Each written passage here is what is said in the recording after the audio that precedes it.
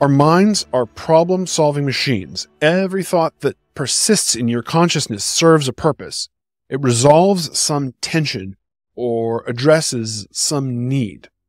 Learn English. Your brain doesn't randomly store information, it selectively retains what proves useful in navigating your world. When you remember where you parked your car or the birthday of someone you care about, it's because these facts solve practical or emotional problems. Even seemingly trivial memories remain with you because at some level, they help you to avoid an aversion or to achieve a desired outcome.